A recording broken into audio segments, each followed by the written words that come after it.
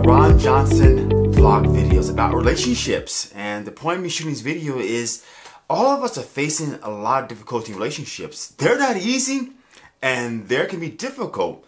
You're trying to put two people to work together to make a perfect relationship.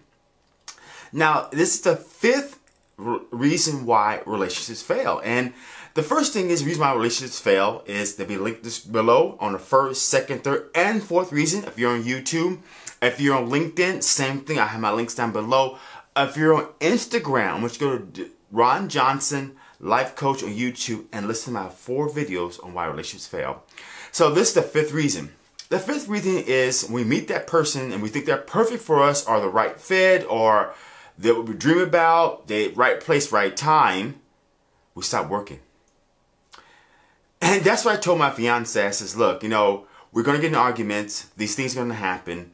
But we got to realize people change. And even though they're in a relationship, you have to keep working.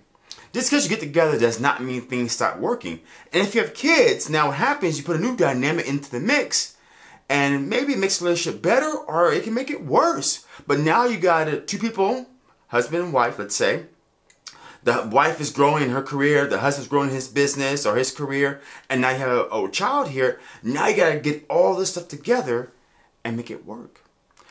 So if you get to a relationship and you stop working on it, that's when it stops growing.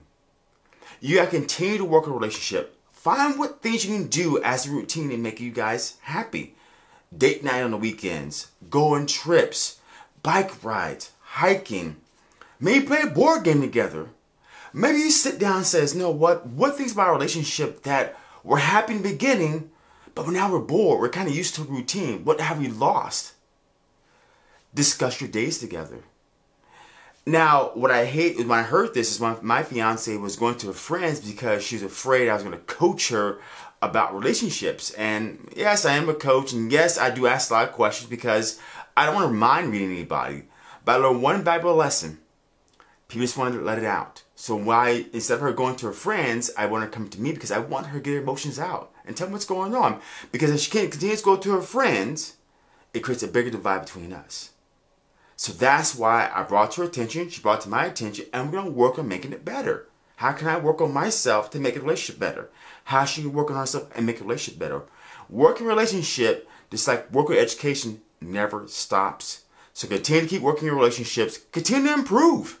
Find out what the problem is. Find out where you guys can meet together and be happy.